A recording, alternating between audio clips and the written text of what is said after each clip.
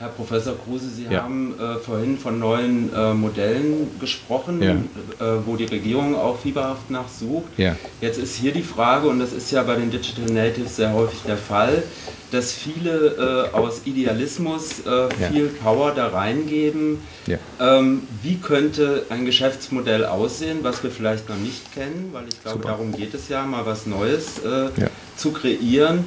Und auf der anderen Seite auch die Frage, ähm, mit dem Wachstum und den Grenzen. Also ich denke, wir sind jetzt an Grenzen gestoßen, das ist äh, vielen bewusst geworden.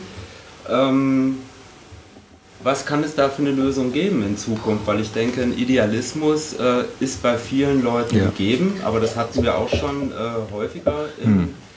in, der Gesellschaft in verschiedenen Epochen. Hm. Aber an welcher Stelle könnte es heute vielleicht weitergehen?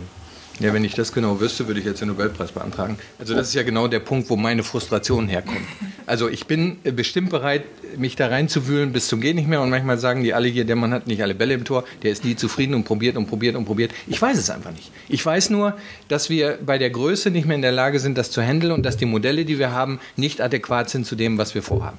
Und ich empfehle einfach nur das gemeinschaftliche Anerkennen der Notwendigkeit der Suche. Weil ich habe immer den Eindruck, die Leute machen im Moment so etwas wie magisches Verhalten. Wenn Menschen gar nicht mehr klarkommen, dann machen die Voodoo-Puppen oder sowas. Das heißt, die gehen einfach hin und äh, machen irgendjemanden verantwortlich oder fangen an, äh, kennen Sie das, wenn man früher war das so, wenn alles nicht mehr funktioniert hat, dann wisperten sich die HR-Leute so, HR äh, wisperte sich dann Kultur zu. Sozusagen als das softeste aller soften Themen, mit denen man alles erklären kann. Da muss ich gleich einhaken. Also ja, klar. Just mal im Chat ist die Frage gekommen, ja. ob nicht die Antwort der Fragen in der Religion zu suchen ist.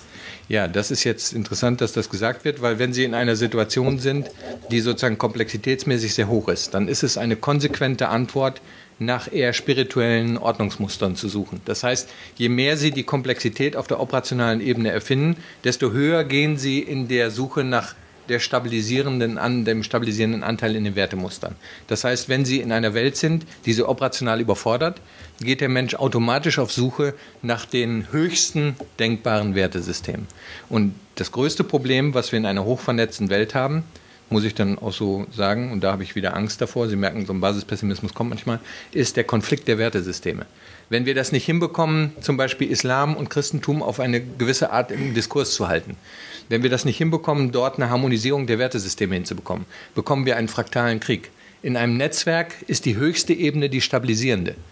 Das heißt, die Werteebene stabilisiert. Und wenn ich die wegnehme, fangen die Systeme an zu driften und ich habe sozusagen ein multiples Entstehen von Konfliktpunkten.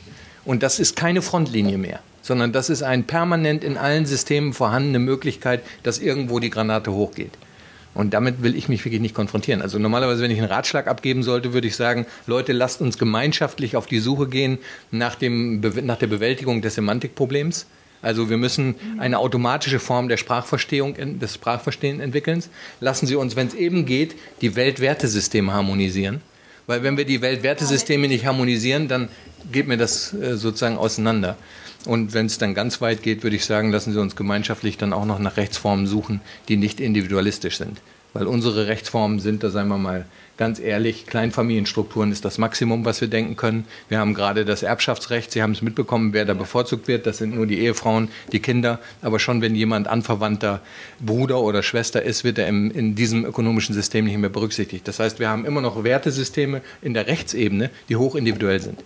Und da, glaube ich, kommen wir auf Dauer nicht mit klar. Ja.